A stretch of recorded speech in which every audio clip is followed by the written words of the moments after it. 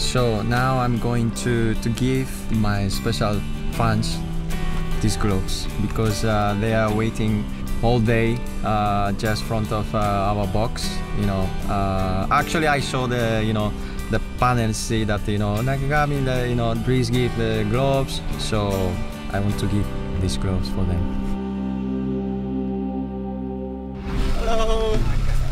So thank you so much for waiting all day, and I uh, just want to give you uh, gloves.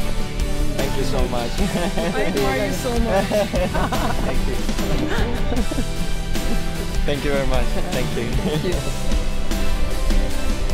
I'm really thankful for this. I came here with no expectations and now like I met him and I got his gloves so I'm really happy.